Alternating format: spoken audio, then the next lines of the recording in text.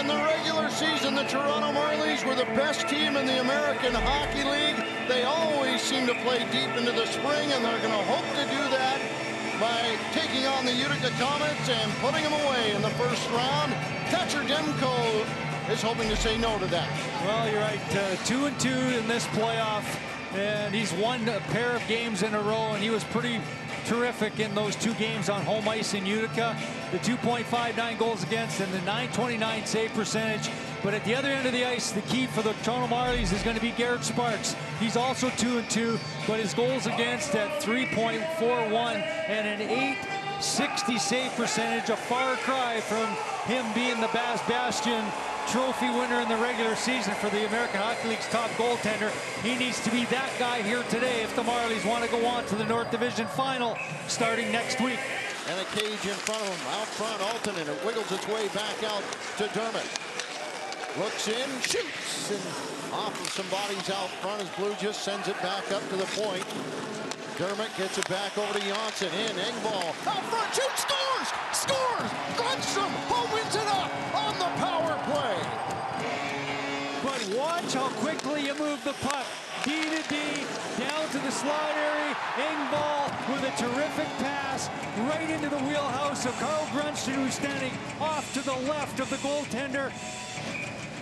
Another goal in the Stanley Cup playoffs and uh, looking to be a determining a factor giveaway. here. Here's Greening working in with Engvall. Stopped by Thatcher Demko, but a penalty. Wow, what a huge save by Thatcher Demko. And up to the far side, Goldobin plays it out. Marincin back. Two on one. Boucher waiting for the pass. Stopped by Sparks. And the rebound, too. Sensational save by Garrett Sparks. He's the best in the American Hockey League.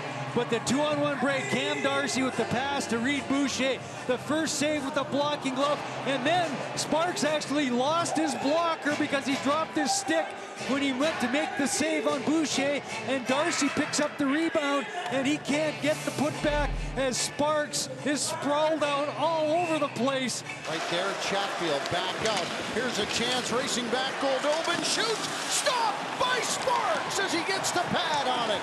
Uh, one of those passes that you just lead the man into it, and Nikolai Goldobin gets the opportunity.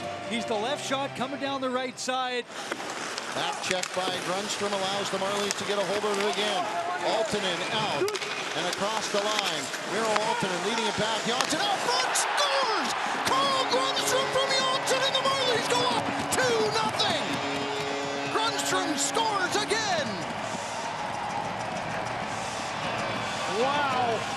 Misdirection. Down low. Grundstrom out front, jamming away.